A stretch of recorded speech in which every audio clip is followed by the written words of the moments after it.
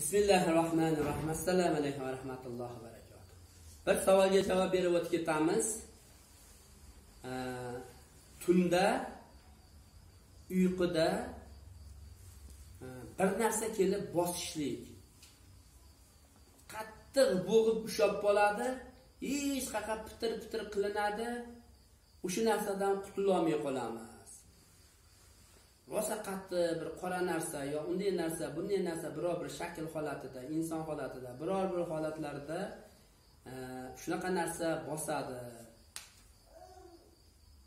degan savol. Alhamdulillah alloh taolo odamni nihoyatda bir mukammal qilib yaratdi. Endi o'shanday holatlarni bo'lish holati sharoit muhit o'shalar to'g'risida ikki yozim to'xtam berib o'tib ketamiz. Endi bu narsadan birinchi jinkashlar foydalanadi. Jinkashlar foydalanadi.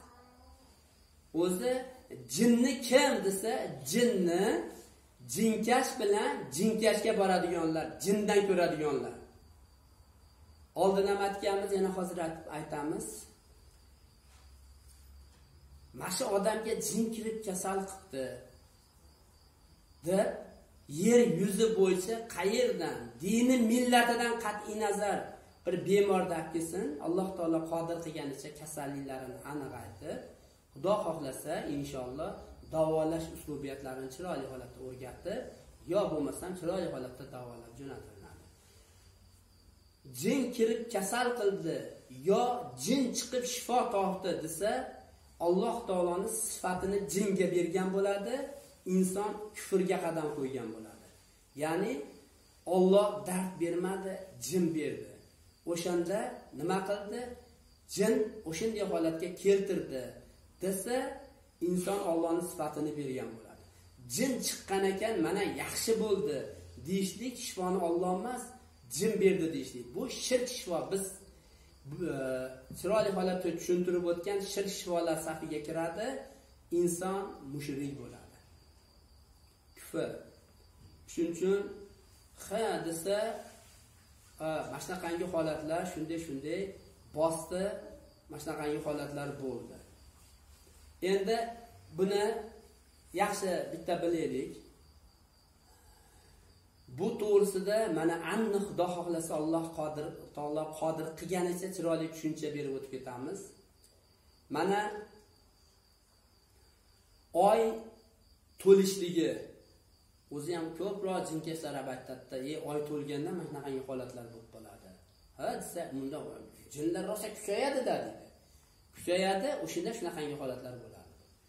Endi shunday holatki oy to'lishlik holatlarida o'n uchinchi o'n to'rtinchi o'n beshinchi kunlarida nafl ro'za tutishlik xudo xohlasa sunnat hisoblanadi и buyurilgan bizga xo'sh nima uchun? Nima uchun? Oyni o'n uch o'n to'rt o'n beshida. Oy to'lish to'linish holatida tortish kuchi kuchayadi. Vallohu alam o'zi bilguvchiroq mana qancha qanchaki ham boshqa bo'lak joylardan oy to'lish holatlarida alloh taolo bulutlarni shuncha nima bilan ta'minlab qo'yadi. Ya'ni pastdan tepaga so'rilish holatlari. Bu yer yuzidagi har bitta jonzotga har bitta jonzotga o'zini ta'sir doirasini o'tkazadi oy to'lish holatida. Qanday deyiladigan bo'lsa insondagi suv holatlarida so'rilish tortilish holatlari. Bu holat ko'proq qanday bo'ladi deyilsa uyqu tomirida inson uxlayapti. Shunday holatlarda sodir bo'lishligi. Tortilishlikda ma'lum shikasti bor. Masalan o'n miya tashqi shikast ya'ni o'ng tomonni boshqaryapti. Endi o'zidagi holatda tortib kelinganda nima bo'ladi deysa u yerda qisilingan tomir sistemalaridagi miyadagi shikastni evaziga pastdan so'rib kelinganda напряжение bosimi kuchayib ketib turib u yerda tomir yorilib qolishligi. O'sha o'ng tomonda misol o'ng tomonni misol keltiryapmiz. o'ng miya tashqi shikastida tomir yorilib qolishligi. Nima bo'ladi? Erta bilan tursa o'ng tomon ishlamayapti. Yo bir tomon tortib qo'ygan yo gapirolmayapti. Ha? Ey desa ey oy to'lganida kechasi bir narsa bosib mana qanday holat bo'ldi. Endi bu yerda qanday holat bo'ldi deyilsa o'zi oyda tortish kuchida pastdan tortilingan holat shuni evaziga u yerdagi tiqilishni evaziga u yerda bosim kuchayib turib yorildi. O'shaning uchun ro'za tutish tutish sunnat buyurilganligi shunday holatki hech qanday kasali bor boshqa bo'ladilar kunduzi bilan och yurdi chanqoq bilan yurdi. O'zidagi ancha holatlari bosilib qoldi. Kuchli holatda ishlamayapti. O'shanday odamda tortish kuchi bo'lganda ham u yerdan shirillab o'tib ketib qoladi. Nimaga u yerga yetadigan katta bosim bo'lmaydi. Katta bosim bo'lmaydi. Bo'lmaydi ro'za tutgan odam o'sha narsadan omonda qoladi. Endi bu bitta ko'rinishligi. Endi ikkinchi ko'rinishlik qanday? Bir insonda o'pka sistemalarida bir xronitskiy kasallik buzilishlar bor. Balg'am qatishligi yo o'pkani ma'lum bir joyida buzilish holatlari shamollab qatib qolishligi holatlari ma'lum bir buzilish holatlari bor haligi insonda. O'pkada yo bronxit yo'llarida yo tomoqda bor. Yo asos sistemasini tomoq o'pka tomonga boshqaruv sistemasida shunaqangi bir shikastlar bor. Haligi inson sunnatga muvofiq chiroyli holatda tahoratlar bilan yotdi. Duolarni o'qidi oyatal kursiy falaq nos suralari hamma rasululloh sollallohu alayhi vasallam qanday buyurgan bo'lsa o'shanday holatda yotdi. Endi yotdi o'shanday holatda chiroyli holatda yotdi lekin oy to'lgan payti olti oy to'lgan to'lgan payti. Tortish kuchi kuchli. O'shanday holatlarda tortish kuchida haligi insonda bo'g'ilish holati kuzatiladi. Uyqu tomiri ishlayapti uyqu holatida nafas qattiq qisib qoladi. Ko'krakda bo'ladigan bo'lsa kimdir kelib shunday ko'kragidan bosganga o'xshab turadi bosganga o'xshab turadi. Nafas ololmay ma'lum bir paytgacha qiynaladi qo'li bilan olib tashlagisi kelib boshqa bo'lak qilib. Bu yerda oyni tortish kuchida oyda tortish kuchida ko'krakdagi shikast pand berdi. Yo tomoq yo bronxit yo asab sistemasidan shunaqangi qattiq nafas qisib bo'g'ib qoldi tomog'i nafas o'tib o'tmayapti rosa qiynalyapti. Asab sistemasidan ushlab qoldi. Nima? Uxlayotganda o'shanday holat bo'ldi. Bu ikkinchi darajasi. Bunda yengilroq holat bo'ladi. Endi shunday holatdan ba'zi holatlarda shayton foydalanadi. Ba'zi holatlarda. Endi qanday deyiladigan bo'lsa shunday holatki e,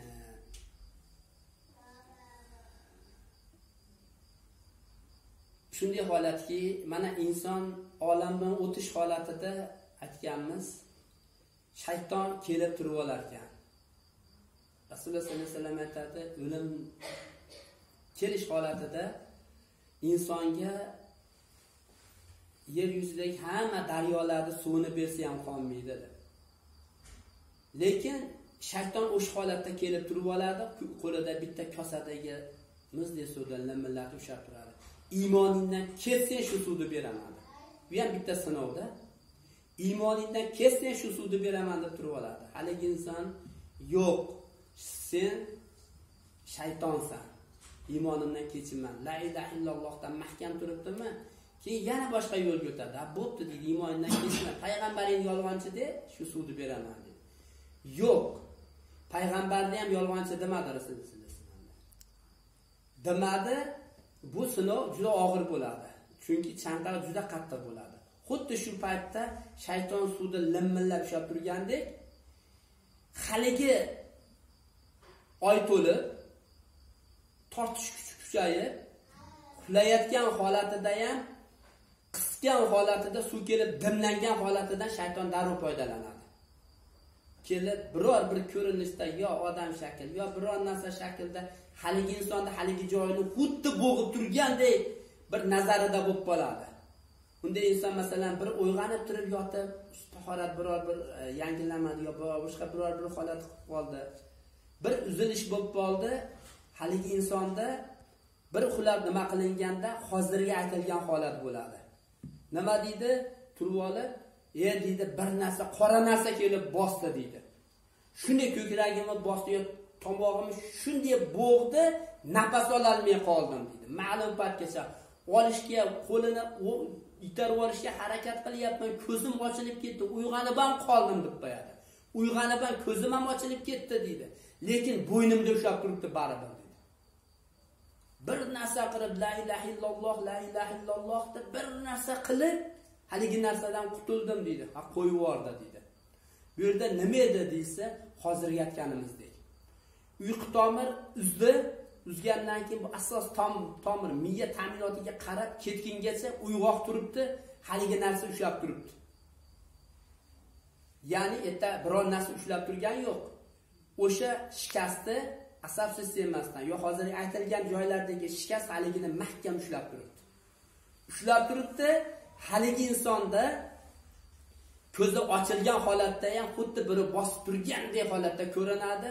Nima deydi? E deydi ko'zim ochiq holatda ham ko'rdim shuni deydi. Miya la ilaha illalloh aytib turdi. Albatta aytishligimiz shart la ilaha illalloh nihoyatda quvvat qudrati nihoyatda yuqori darajada. Kalimalarda ham sayidi o'shanday holatda haligi narsa qo'yib yuborishligi o'sha kasallik ham qon ham yurdi haligi narsa ham o'tdi haligi narsa ko'ziga ko'rinayotgan holatni ham qo'yib yubordi. Nima deydi? Bu bu yerda jim bosdi mana shunaqangi holat bo'ldi birortasiga aytsa shuni evaziga shunday bo'ldi. Hozir men sizlarga qanday holat bo'lishini aniq qilib tushuntirib beryapman. Men bu gapimga inshaalloh qiyomat kuni ham javob beraman.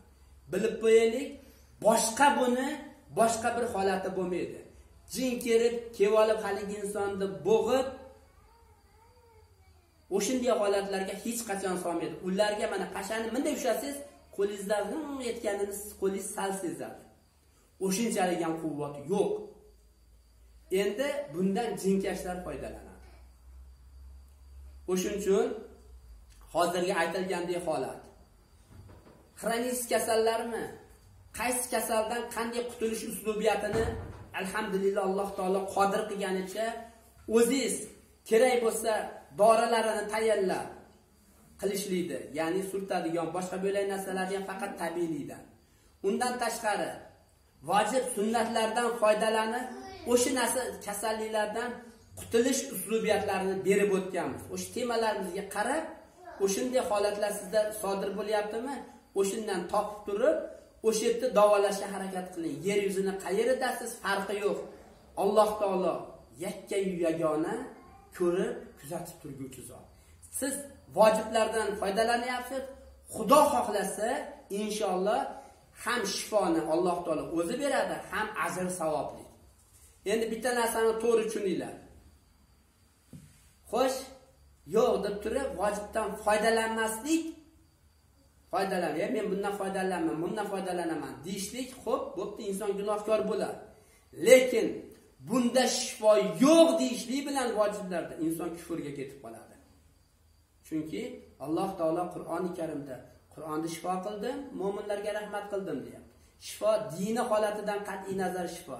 Lekin mo'minlarga rahmat qildim degani amal qilganda jannatga kiradi. Endi asalni shifo qildim deb kelyapti. Asal siz bilan bizga berilgan ne'mat. Xayri ehson qilib kasallarni davolanglar yo rahmon surasida kelyapti. Nima? Ehsonni mukofoti ehson bilandir. Biz bitta narsani ehson qildik. Alloh taolo kerak bo'lsa mingta narsani bizga ehson qilib javob qiladi hali ehsonimizga. Ya'ni kasalligingizni ko'tarish g'am tashvish kelayotgan baloni ishlaringizni oldiga dunyoda amallaringizni chiroyli holatda xolislik darajasiga o'tib olishligingiz o'sha qilgan ehsoningizni barakotidan qalblaringiz yumshashdi endi buni aytadigan bo'lsak minglab minglab minglab misol keltirishimiz mumkin. Xayr ehson vojib shifolarga kiradi. Istig'for alloh taolo balolarni sinovlarini ko'taradi. Bu ham vojib shifolarga sunnat e, qisqasi hozir gapirsak gapimiz ko'payib ketadi. Vojib sunnat. Bu to biz muboh berganmiz davolanish uslubiyatlari o'shandan chiroyli holatda davolanib xudo xohlasa hayotda chiroyli o'zingizni o'rningizni topib oling. Bilib qo'yinglar jin bosib jin shunday qiladi degan odam adashadi kufrga ketib qoladi. Jinni qo'lida unaqangi quvvat yo'q. Alloh taolo unday holatni bermagan. Tushuntirildimi o'shuning uchun bu yerdagi narsa bu kasallik xudo xohlasa davolanish uslubiyatlari hozir aytganimiz endi savollar bormi? Beringlar. Bo'lsa tezda savollar bu xususda bo'linglar tezda. Uchinchi etaj birinchi etaj ikkinchi etaj.